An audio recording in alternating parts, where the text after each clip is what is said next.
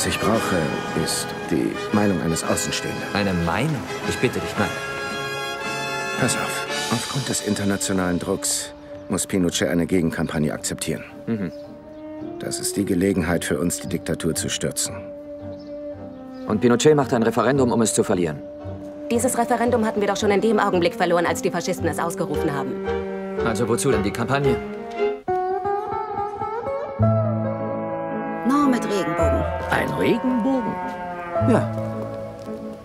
Steht das nicht für die Schwuchtel?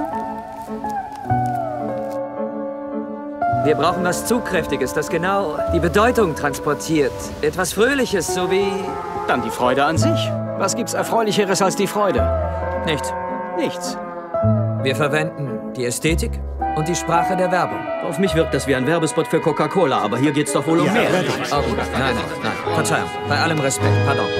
Chile, la alegría ya viene. No es anillo que brilla en la mano, no es el príncipe palo gitano. Die wird no es ernsthaft, dass sie uns auf Sendung gehen lassen. Eine Provokation. Kann dieser Affenzirkus nicht beendet werden? Das wäre ein Skandal. No me gusta, no, no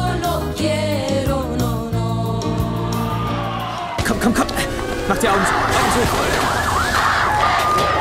Basta, wir müssen kreativer sein. Drehen wir den Spieß um. Sei nicht so arrogant. Das da ist unser Ende. Und pass auf deinen Sohn auf. Das ist keine Kampagne mehr, Guzman. Das ist eine Staatssache. Ja, heftig. Mir gefällt's. Hm? Ich würde teilnehmen.